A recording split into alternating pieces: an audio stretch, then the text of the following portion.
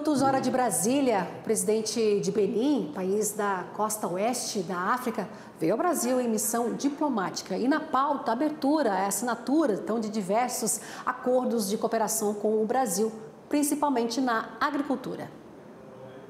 A agricultura de subsistência é a principal atividade econômica do país africano, onde 52% da população mora em área rural.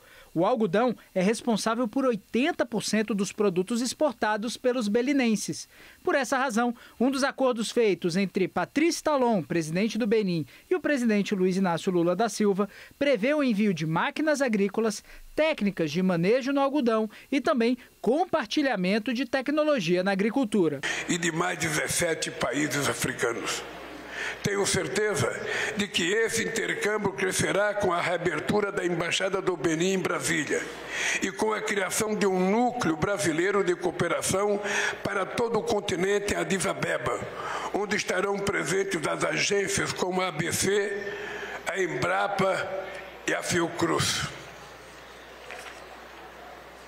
É com esse espírito que sediaremos convite da União Africana, a Conferência Regional da Diáspora e dos Afrodescendentes das Américas e do Caribe, no final de agosto, em Salvador. O Brasil tem muito a aprender e a contribuir nos debates sobre memória, restituição, reparação e reconstrução. O fortalecimento dos vínculos entre a África e a sua sexta região, da qual o Brasil orgulhosamente faz parte, pode se transformar em um vetor positivo de apoio ao Haiti com o Quênia e o Benin, assumindo a dianteira na missão policial da ONU, reafirmamos nosso compromisso com a estabilidade e a prosperidade haitianas e estamos à disposição para oferecer apoio logístico à operação. A ligação entre Brasil e Benin remonta da época da colonização portuguesa e atualmente 10% da população do país africano são de descendentes de belinenses que retornaram após a abolição da escravatura no Brasil. O presidente Patrício Telon até brincou, dizendo que o Brasil pode sim ser considerado um filho de Benin.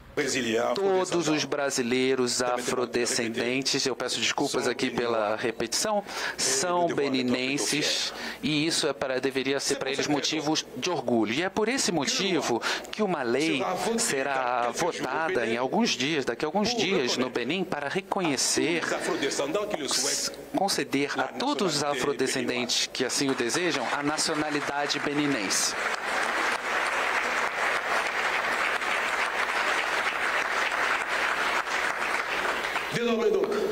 Portanto, de agora em diante, senhor presidente, o senhor será beninense também.